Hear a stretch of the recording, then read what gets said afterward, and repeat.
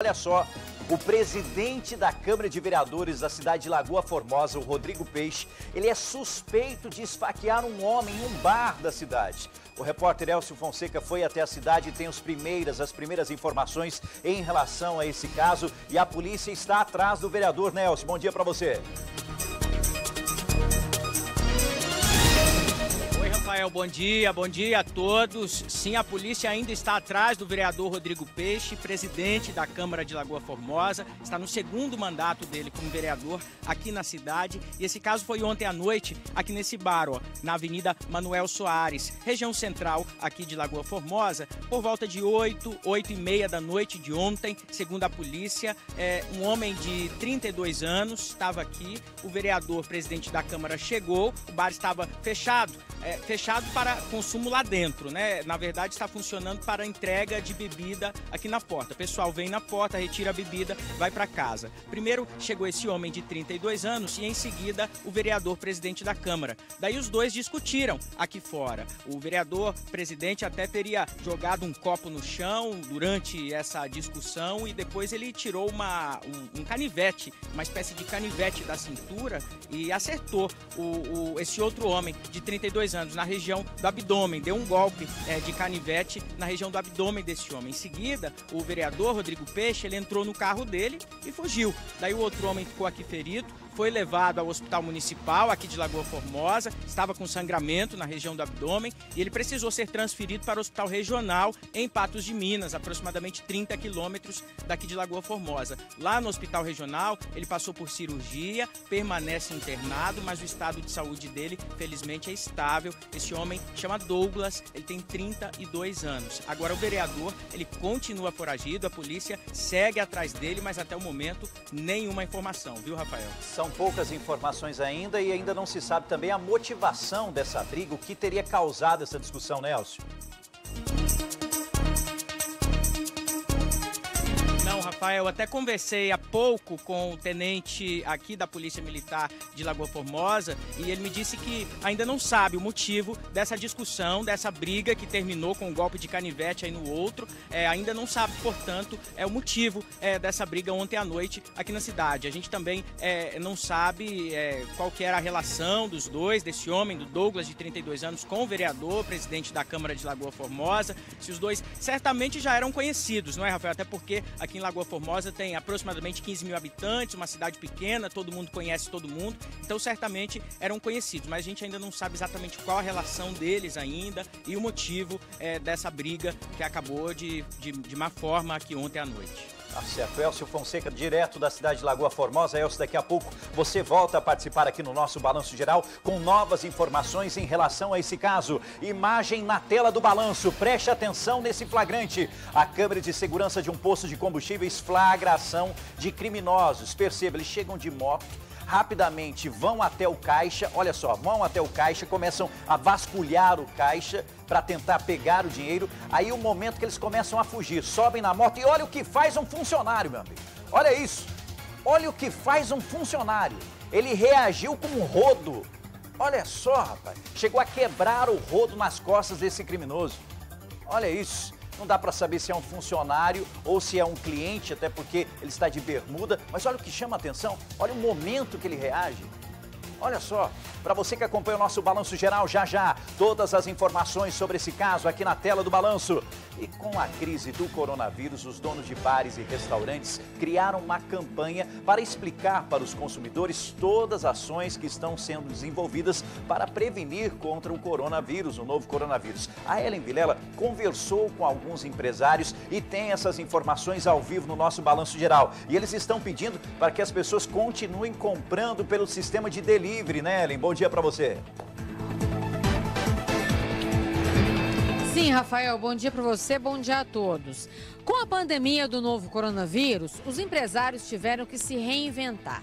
Alguns nem, atendiam entregas em domicílio. O que, que eles fizeram? Mudaram totalmente a logística do trabalho, treinaram funcionários para atender às exigências do cliente e às or ordens sanitárias. O que, que acontece, Rafael? Essas pessoas estão aprendendo a fazer essas entregas de forma é, a atender aí as normas, como sanitárias, para que o cliente não fique sem o alimento e também com toda a segurança. Mas as pessoas às vezes não estão entendendo, às vezes as pessoas ficam com receio de pedir comida por delivery. Então o que, é eles fizeram? Fizeram uma campanha mostrando o quão estão empenhados em é, seguir essas normas sanitárias e também atender o cliente com excelência, principalmente fazendo com que a comida que, que é entregue seja igual à comida presencial. Quer dizer, a pessoa está acostumada no self-service, ela vai ter o mesmo, a mesma, o mesmo requinte do sabor, tudo. Então eles estão fazendo esse esforço para que as pessoas não deixem de fazer essas compras, mesmo que seja entrega em domicílio. Vamos acompanhar agora uma das empresárias que fala sobre essas mudanças e o que eles estão fazendo para que o cliente fique cada vez, cada vez mais fidelizado e, claro, ganhando assim toda a confiança e a segurança sanitária. Essa campanha é muito importante para o cliente se sentir seguro de que todos os bares e restaurantes aqui de Berlândia, a gente está tendo esse cuidado para que ninguém deixe de frequentar, ninguém deixe de comer aquela comidinha gostosa, aquele petisco de todos os bares e restaurantes. E fica em casa para poder ter essa segurança, mas não deixa de pedir dos deliveries, dos restaurantes, que todos já têm costume, para poder apoiar a todos. Tá aí, tá aí essa empresária. Daqui a pouco a matéria completa aqui no nosso Balanço Geral falando sobre isso. E eu quero saber, você que acompanha a gente no Facebook do Balanço, você que é comerciante, o que, que você tem feito? O que, que tem mudado nesse processo todo? O que tem melhorado em relação ao atendimento à nossa população? Falando nisso, já já aqui no Balanço a gente volta a trazer informações sobre a abertura do comércio aqui na cidade de Uberlândia. Na próxima segunda-feira, o comércio já pode abrir. Alguns estabelecimentos em alguns dias, outros em outros outros dias. Eu vou explicar mais uma vez tudo direitinho para você já já aqui no nosso balanço geral e falar também sobre a fiscalização a esses estabelecimentos comerciais. E nesse momento, onde a orientação é de ficar em casa, claro, para quem pode, tem muita gente se divertindo com as lives. E aí, assistiu alguma? Gostou? Muitos cantores usam a internet para mostrar suas músicas e abraçar grandes campanhas de doações. Agora, o que tem chamado a atenção também, além dos cantores, são os intérpretes de Libras. É isso mesmo. Meu amigo Túlio Amâncio participa com a gente falando nisso, Túlio. Teve uma dupla que participou da live do Alexandre Pires que fizeram maior sucesso, não é mesmo? Boa tarde para você, meu amigo. Essa dupla arrebentou, Rafa. Boa tarde para você, boa tarde para quem acompanha o nosso balanço geral. Nós estamos falando dos intérpretes de Libras, a língua brasileira de sinais, que é a oportunidade né, que esses cantores estão dando a quem não consegue ouvir de curtir o show também. É uma atitude muito bacana e isso é inclusão de verdade. Essa onda de lives começou já tem um tempinho, né? Mais ou menos um mês, mas a primeira a colocar o intérprete de Libras no cantinho da tela foi a cantora sertaneja Marília Mendonça. E aí outros seguiram esse bom exemplo, exemplo muito bacana de inclusão mesmo. E nesse final de semana teve a live do Alexandre Pires, foi no sábado. E essa dupla fez o maior sucesso, eles sentiram a música mesmo, caras e bocas, mas isso tudo, Rafa, essas caras e bocas, essa entrega na interpretação faz parte, viu? Faz parte para o tele, telespectador compreender mesmo, já que é impossível ele ouvir, ele sente a canção da melhor forma possível. Eu conversei com essa dupla, o Ricardo e a Talita. Eles contaram um pouco dos bastidores, eles trabalharam em dupla porque o repertório é vasto. Foram cerca de quatro horas de apresentação do Alexandre Pires. Então, um intérprete sozinho não ia dar conta do recado, não, porque é muita informação, tem que ser muito ágil, muito dinâmico. Eu conversei com eles, daqui a pouco tem a reportagem completa. A reportagem tá toda traduzida em, em Libras, viu, Rafa? Do começo ao fim. É inclusão também nessa reportagem. A gente vai ouvir um trechinho agora dessa entrevista com um deles. E a gente sempre fica junto um do outro. Então, a partir do momento que eu estou interpretando, a outra profissional ela já fica ao lado me dando um suporte. Caso às vezes o ponto eu não consiga ouvir o ponto, às vezes ele falha, então ela tá ali para me dar o suporte. Então fica o tempo todo junto. Excelente. Matéria completa já já para você aqui no Balanço Geral, então fique ligado com a gente, viu? Venha participar comigo, meu amigo, minha amiga. Repórteres na tela do Balanço Geral. Aqui a nossa equipe não para. A informação é prioridade para você. A minha querida Ellen Vilela sempre com a gente, nunca me abandona. Elcio Fonseca também, hoje que está lá na cidade de Lagoa Formosa. O meu querido Túlio Amâncio, sempre com a gente, meu parceiro. Girando informação, eu começo com a Ellen falando sobre um curto-circuito que deixou moradores de bairros, vários bairros, bairros aqui, cinco, sem energia. E teve uma câmera de segurança, né, Ellen Vilela, que flagrou o momento da explosão. O que, que foi aquilo que susta, hein, minha amiga? Foi sim, viu, Rafael? Os moradores levaram um susto daqueles. Esse equipamento ele fica na Avenida Santa Fé, no bairro Novo Mundo, no setor leste de Uberlândia. Os moradores nos contaram que isso aconteceu no começo da noite, após as 7 horas. Eles entraram em contato com a concessionária de energia elétrica porque a região ali ficou sem energia. Foram mais ou menos cinco bairros. Entre esses bairros, o Novo Mundo, claro, o Vida Nova e o Bem-Estar, que ficam ali próximos. É, uma equipe da concessionária de energia foi até o local e fez a restauração aí desse, desse concerto, deu tudo certo e eles tiveram a energia restabelecida às 11h30, entre 10 e 10 e meia da noite. Nós entramos em contato, a nossa produção entrou em contato com a assessoria de imprensa da CEMIG e nos foi informado que o transformador não apresentou problemas. O que aconteceu foi no cabo da rede elétrica, que foi danificado aí, teve esse curto-circuito, e eles fizeram esse restabelecimento ontem mesmo e a energia foi restabelecida. Rafael. Obrigado, Ellen, pelas informações aqui no nosso balanço, mas assustou e essa imagem é impressionante, né? É uma imagem, inclusive, distante de uma câmera de segurança e mostra o clarão, o clarão depois da explosão. Girando informação da Ellen Vilela, agora eu converso com o nosso repórter Elcio Fonseca sobre uma situação que aconteceu em Patos de Minas. Uma mulher foi levada para a UPA de Patos de Minas com traumatismo craniano. E o que chama a atenção é que possivelmente essa mulher foi agredida pelo marido, é isso, Elcio?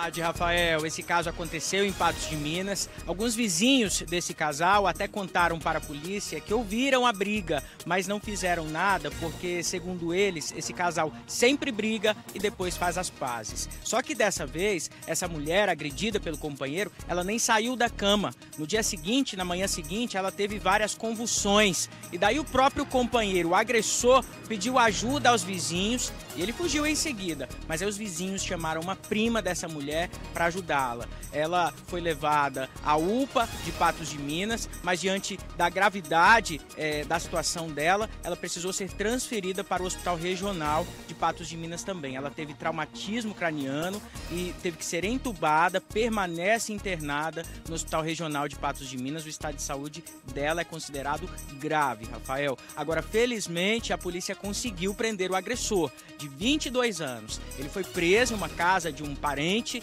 e já está agora no presídio de Patos de Minas. Rafael, na casa do, dos dois, desse casal, os policiais encontraram uma pedra de concreto suja de sangue. Provavelmente foi usada nas agressões, Rafael. Que, que absurdo, gente. Uma pedra de concreto, um concreto. Meu Deus, possivelmente acertou inclusive a cabeça da mulher. Olha que terrível isso. Obrigado, Elcio. Qualquer novidade, você volta a falar sobre esse assunto. Túlio Amâncio tem as informações. Ô, Túlio, meu amigo, normalmente o rodo que eu tenho lá em casa é para tirar a água, viu? Agora, eu não sabia que tinha essa utilidade, não. Mostra a imagem, por favor. A câmera de segurança de um posto de combustíveis flagrou bandidos, infelizmente, praticando um assalto e no momento que iam fugir, levaram o rodo nas costas. Explique pra gente, Túlio. Ô, ô, ô Rafa, uma testemunha sentou o rodo no lombo de um dos criminosos. Isso aconteceu na cidade de Tuiutaba, no bairro residencial Canaã. Os dois criminosos chegaram na motoneta, numa bizinha, aquelas 125 cilindradas, um pilotando, o outro na garupa, desceu, rendeu lá, né, fingindo que estava armado, colocou a mão dentro da, da blusa, dizendo que estava armado, pediu o dinheiro, pegou cerca de 100 reais, o outro chegou a descer ainda da motoneta, foi até o caixa, pegou mais uma quantia em dinheiro e depois eles fugiram. Mas quando eles começaram a sair da moto, a testemunha disse à polícia que percebeu que eles não estavam armados nada, que quando um dos suspeitos tirou a mão de dentro da blusa, ele conseguiu ver que não tinha arma ali.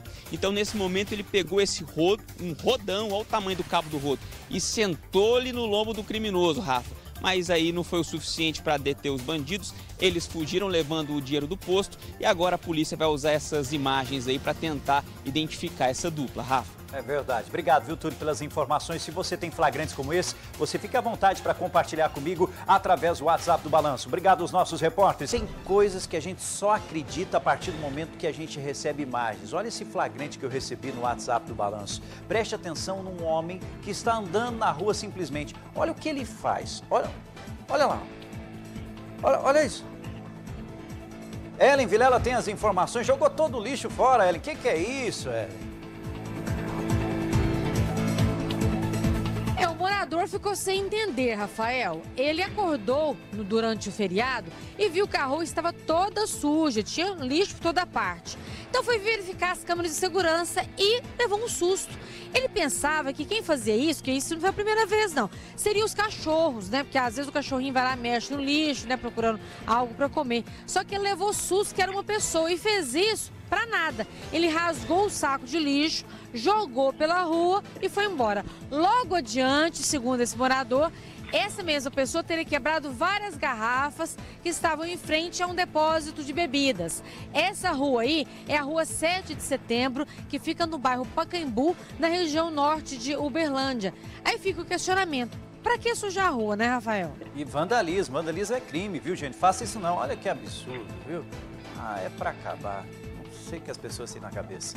Girando informação, atenção que teve um acidente no centro de Patos de Minas. Um motociclista teve uma fratura depois de atingir um carro. Elcio Fonseca tem as informações, volta a participar ao vivo com a gente. Agora, segundo que foi repassado, esse motociclista não respeitou o semáforo e parece que não tinha nem habilitação, Elcio, é isso?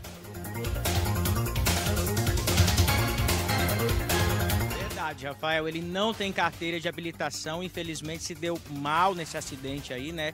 É, quebrou uma das pernas e teve que ser levado ao Hospital Regional de Patos de Minas. Foi um acidente no cruzamento da rua Tiradentes com a rua General Osório, região central ali de Patos de Minas. E, e segundo o motorista do carro, ele seguia pela rua é, Tiradentes e o motociclista pela General Osório. Daí tem semáforo ali nas duas vias. Só que esse motociclista, é, segundo o motorista do carro, avançou o sinal passou no sinal vermelho ali da Olegário Maciel, ele seguia, o motorista do carro seguia pela rua Tiradentes, os dois acabaram batendo ali no cruzamento, o motociclista levou a pior, caiu da moto, quebrou uma das pernas, permanece internado no Hospital Regional de Patos de Minas. Rafael, ele, é, além de ter desrespeitado a sinalização aí, não tem carteira de motorista, Rafael. Obrigado, obrigado, Elcio, pelas informações aqui no nosso Balanço Geral. Agora preste atenção nessa história. Na tentativa de assaltar uma casa na cidade de Uberaba, um homem, gente, caiu do telhado, chegou a fraturar o pé, mas ainda assim, Tulemans, ele conseguiu agredir um idoso com mais de 80 anos. Ô, ô, Rafa, presta atenção nessa historinha que vem de Uberaba, do bairro Abadia. Esse idoso de 82 anos, ele foi cedinho à padaria comprar o pão dele. No caminho ele encontrou um, um rapaz pedindo dinheiro. Ele pediu esse dinheiro, ele deu cinco, uma nota de 5 reais para ele e foi para casa. Durante a madrugada, ele só escutou um barulhão, puf, caindo, alguém caindo do telhado dele, volta das 4 horas dessa madrugada.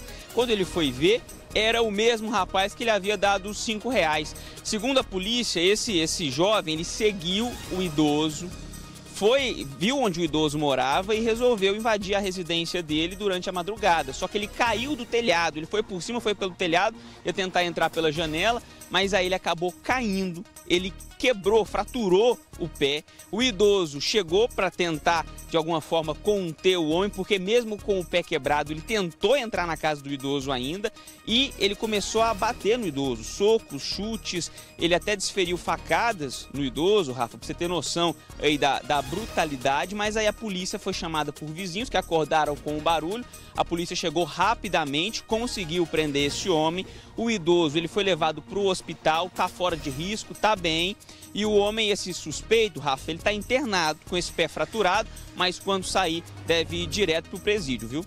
Tem que ir direto mesmo. E que absurdo, agredir um idoso de 82 anos. O que, que é isso? Obrigado, Túlio, pelas informações. Vou falar dos números agora. Dados divulgados pela Secretaria Municipal de Saúde de Uberlândia mostram que aqui na nossa cidade o número de pessoas infectadas por coronavírus permanece o mesmo. Túlio Amâncio tem os dados e conta pra gente. Túlio. Ô, Rafa, o último boletim divulgado pela Secretaria de Saúde de Uberlândia tá que a cidade conta com registra né, 81 pessoas com Covid-19, casos confirmados. Esse número permanece o mesmo do boletim divulgado anterior a esse, tá? Ó, agora, casos suspeitos são 2.971. A média tem sido essa, esse aumento de 2, 3% tem sido a média diária apresentada pela Secretaria de Saúde, viu, Rafa? Todo dia, em média, 2%, 3%, esse número aumenta de casos suspeitos. Agora são 29 pessoas internadas no município, sendo 14 em leitos de UTI e 15 em enfermarias. 72 pessoas já receberam alta médica do dia 14 de abril para cá, 72 pessoas. E um número importante que é bom a gente estar tá sempre de olho é, o, é a porcentagem né, de leitos de UTI ocupados aqui no município, que está em 78, 78%, segundo esse último levantamento da prefeitura. Rafa. Que caiu em relação ao último dia, que estava com 85%. E claro, nós vamos ficar de olho mesmo. Obrigado, viu, Túlio, pelas informações da cidade de Uberlândia. Vamos saber agora como estão as cidades da nossa região. A Ellen Vilela tem os números e conta pra gente, Ellen. Rafael, vamos começar por Uberaba. Lá os casos suspeitos são 1.291. Os óbitos por Covid-19, 3. Óbitos em investigação, 3. E pacientes curados, 14. Na cidade de Araxá, casos de síndrome gripal, 328. Notificações por Covid-19, 58. Casos confirmados, 3. Mortes em investigação, 2. Óbitos confirmados, 1. Entre Utaba, no Pontal do Triângulo Mineiro, casos suspeitos, 235. Casos positivos, 1. Negativos, 40. Paciente curado, 1. Paciente internado com suspeita, 1. Em Araguari, são 588 casos suspeitos, confirmados 9 casos negativos 53 e óbitos suspeitos 1. Rafael? Obrigado, Ellen Vilela. E você de casa deve estar se perguntando, e Patos de Minas? Não esqueci de Patos de Minas, não. Deixa eu conversar com meu querido Elcio Fonseca, que tem esses números. E aproveite, Elcio, e traga também os números do estado de Minas. Perfeitamente, Rafael. Vamos então começar com Patos de Minas, até porque teve mais um caso confirmado na cidade, viu? Agora de um homem de 56 anos. Segundo a Secretaria de Saúde do município, ele está internado em um hospital da cidade, mas está passando bem. Portanto, é mais um caso confirmado em Patos de Minas, que agora tem 10 casos confirmados da Covid-19. O pessoal de casa pode se perguntar: ah, mas eu vi um boletim com mais casos, mais do que 10. Apareceu até um boletim com 14 casos confirmados. Mas a Secretaria de Saúde do município explicou que esses quatro casos que apareceram no boletim como sendo de Patos, na verdade são de pessoas que são de outras cidades e procuraram atendimento em Patos de Minas, já que a cidade é referência em atendimento de saúde. Portanto, esses quatro casos confirmados são de pessoas de outras cidades. Esses números têm que ser contabilizados nas cidades deles. Portanto, em Patos de Minas são 10 casos confirmados até o momento e tem uma morte confirmada também já na cidade, viu, Rafael? É, lembrando que entre esses casos confirmados de Patos, tem profissionais, pelo menos três profissionais de saúde que estavam atuando nessa linha de frente aí no enfrentamento ao coronavírus. Agora, passando para os números do estado, em todo o estado já são 1.283 casos confirmados, viu? 78 mortes estão sendo investigadas, 325 mortes já foram descartadas, não foram por causa da Covid-19 e 47 mortes, essas sim já foram confirmadas pela doença em todo o estado, Rafael. Obrigado, Elcio, pelas informações, falando sobre esses números. Olha, daqui a pouco eu volto a conversar com o Elcio Fonseca, que ele vai trazer informações direto da cidade de Lagoa Formosa em relação ao presidente da Câmara de Vereadores. Deixa eu voltar a Lagoa Formosa. O presidente da Câmara de Vereadores da cidade, Rodrigo Peixe, é suspeito de esfaquear um homem em um bar da cidade. O nosso querido Elcio Fonseca está na cidade, está em frente ao estabelecimento comercial onde aconteceu toda a confusão e tem novas informações. Elcio. Thank you. Rafael, o vereador Rodrigo Peixe, presidente da Câmara aqui de Lagoa Formosa, ele continua foragido. Após o crime ontem à noite, ele fugiu e ainda não foi encontrado pela polícia. A polícia segue atrás dele. Ele que já está no segundo mandato de vereador aqui na cidade de Lagoa Formosa. Viu? O caso foi ontem à noite, aqui nesse bar aqui, ó, na Avenida Manuel Soares, onde a gente está agora, na região central da cidade. Ontem por volta de 8 e meia da noite, mais ou menos. O bar estava aberto apenas para os clientes retirarem bebida na porta. E então o vereador chegou praticamente junto com esse homem de 32 anos, que foi é, violentado aí pelo vereador. Chama Douglas, esse homem de 32 anos. Os dois chegaram praticamente juntos aqui e tudo aconteceu aqui fora, já que o bar estava apenas entregando para os clientes na porta. Eles começaram, é, discutir, começaram a discutir aqui na porta. É, em certo momento, o vereador até pegou um copo que estava perto da porta, jogou no chão, quebrou esse copo e logo em seguida ele tirou um canivete da cintura e acertou esse homem homem de 32 anos, o Douglas, na região do abdômen aqui. Foi um, um golpe só, mas claro que fez muito estrago, né? E, e, então, logo em seguida, depois o vereador já entrou no carro dele e fugiu. O Douglas, ele foi socorrido pelo pessoal que estava aqui por perto, foi levado ao hospital municipal aqui de Lagoa Formosa. Ele estava com sangramento na região do abdômen e, diante da gravidade, foi transferido para o hospital regional em Patos de Minas. Ele já passou por cirurgia, permanece internado em observação. O estado de saúde dele felizmente, é considerado estável. Mas o vereador, presidente da Câmara, Rodrigo Peixe, ele continua foragido. Portanto, eu conversei mais cedo com o tenente Vanderlei Rocha, tenente da Polícia Militar aqui em Lagoa Formosa. A gente vai ver agora a entrevista que eu fiz com ele aí falando sobre esse caso. Rafael. A Polícia Militar foi solicitada ontem por volta de 20 e 30 até 21 horas a comparecer em um bar na Avenida Manuel Soares, aqui em Lagoa Formosa, onde um cidadão teria é, sido esfaqueado. Né? De imediato a guarnição deslocou para o local, verificou que o fato realmente havia existido. A vítima já havia sido socorrida para o hospital de Lagoa Formosa e posteriormente encaminhada para o hospital em Patos de Minas. E segundo testemunhas presenciais, o autor desse delito seria um vereador aqui da cidade de Lagoa Formosa.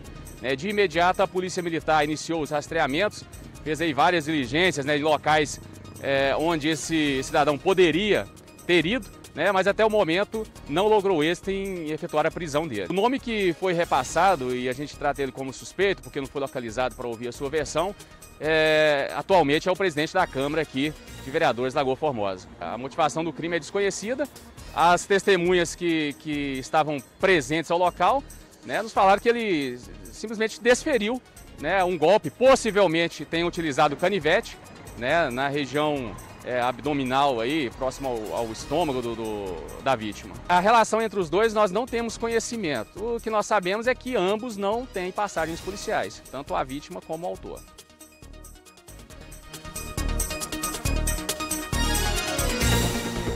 Obrigado ao Tenente Vanderlei, que falou com a gente hoje mais cedo aqui em Lagoa Formosa. Ele que, junto com toda a equipe, continua atrás aí do vereador é, Rodrigo Peixe, é, presidente da Câmara aqui de Lagoa Formosa. A gente continua acompanhando qualquer novidade. É claro que a gente vai voltar para informar o pessoal de casa, Rafael. O Elcio, como o Elcio mesmo explicou na primeira entrada aqui no nosso Balão Geral, Lagoa Formosa é uma cidade pequena, viu? Uma cidade com pouco mais de 15 mil habitantes. Com certeza, diz com certeza, se ele tiver aí na região, alguém está sabendo, alguém sabe de alguma coisa e tem que procurar a polícia, ligar no 190, avisar os policiais onde está o presidente da Câmara para ele responder em relação a esse caso. Até porque, meu amigo, meu amigo, ele é suspeito. Agora, se ele não tivesse nenhum tipo de envolvimento em relação a essa história, o que, que ele faria? Pelo menos menos eu penso assim. Ele chegaria lá na delegacia e falaria, opa, ô, ô, ô, delegado, eu tô aqui, ó, não, não tem nada a ver não. Estaria ali à disposição. Agora, fugir dessa forma, sumir, desaparecer, não dá. Até porque daqui a pouco vai sair o flagrante aí ele não pode ser preso. Hum, vamos ficar de olho nisso, viu? Elcio, obrigado pelas informações. Qualquer novidade, a gente volta a trazer os detalhes aqui no nosso balanço ou também na programação da TV Paranaíba. Falando em vereadores, o Tribunal de Justiça de Minas Gerais manteve a proibição do suplente de vereador Murilo Ferreira de assumir o cargo na Câmara Municipal de Uberlândia, mas tirou dele a obrigação de usar a tornozeleira eletrônica. Ellen Vilela explica pra gente. Ellen. Rafael Murilo, ele é investigado pelo Ministério Público Estadual por uso de notas fiscais falsas para desviar dinheiro da verba indenizatória da Câmara Municipal de Uberlândia em 2018 quando ele substituiu por dois meses a vereadora Flávia Carvalho. Em fevereiro deste ano, Murilo chegou a ser convocado para tomar posse na, na vaga de Flávia, que é, fez um acordo com o Ministério Público e confessou o desvio da verba e renunciou ao cargo. Mas a Justiça de Uberlândia impediu a posse de Murilo e determinou o uso de tornozeleira eletrônica para evitar que Murilo frequentasse o prédio da Câmara Municipal de Uberlândia. O político não chegou, chegou a ser notificado para colocar o equipamento e com a decisão, o Tribunal de Justiça não tem é, de acordo com a decisão do Tribunal de Justiça, ele não tem mais essa obrigação. Por dois votos a um, os desembargadores mantiveram o afastamento do cargo. Na decisão, o relator desembargador Anacleto Rodrigues destacou que há fortes indícios de que Murilo utilizou o cargo para a prática de crime, devendo ser impedido de assumir o cargo de vereador e cessar a suposta prática delituosa. Com o julgamento dividido, a defesa de Murilo pode ingressar com os chamados embargos infringentes no tribunal e, e tentar mudar a decisão e retomar o cargo de suplente. O recurso, se aceito, provocaria uma revisão do que foi decidido com base nos argumentos do desembargador que abriu a divergência. Ao jornalismo do grupo Paranaíba, Murilo Ferreira disse que vai recorrer.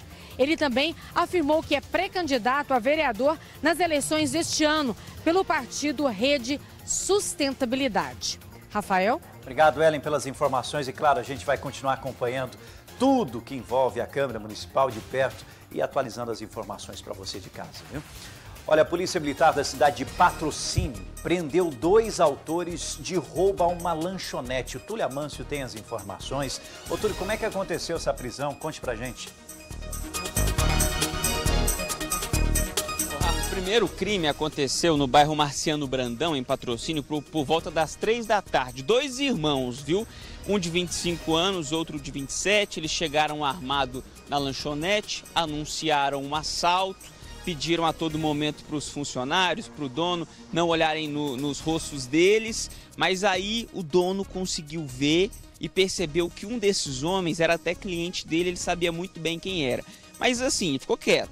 Esses dois criminosos fugiram, ele chamou a polícia e contou o que havia acontecido e até quem seria um desses suspeitos. Então a polícia foi na casa desse homem de 25 anos, ele foi reconhecido pela vítima, o outro, o irmão dele, também estava nessa casa, então a vítima acabou reconhecendo os dois. E, como prova do crime, a polícia encontrou o, o valor roubado em dinheiro da lanchonete e ainda apreendeu com os suspeitos, Rafa, uma réplica de arma de fogo, um papelote de cocaína, dois aparelhos celulares, né? E os 690 reais roubados dessa lanchonete em patrocínio. Rafa. Excelente trabalho da polícia em relação a esse caso. Que bom que encontraram esses autores. Agora, Túlio, por favor, volta o Túlio aqui, volta o Túlio. Túlio, continue com a gente. Ô, Túlio, como é que foi a reportagem que você fez com os intérpretes de Libras, que estão fazendo o maior sucesso nessas lives? Você aprendeu alguma coisa com eles, ô, ô Túlio? Ô Rafa, eu não aprendi nada, mas eu admirei ainda mais o trabalho deles, viu? Mas eu, eu quero aprender, viu? Eu quero ter oportunidade de aprender um pouco porque é muito interessante isso. Ainda mais a gente que tem contato com todo mundo, tem que conversar com todo mundo para fazer nossas reportagens.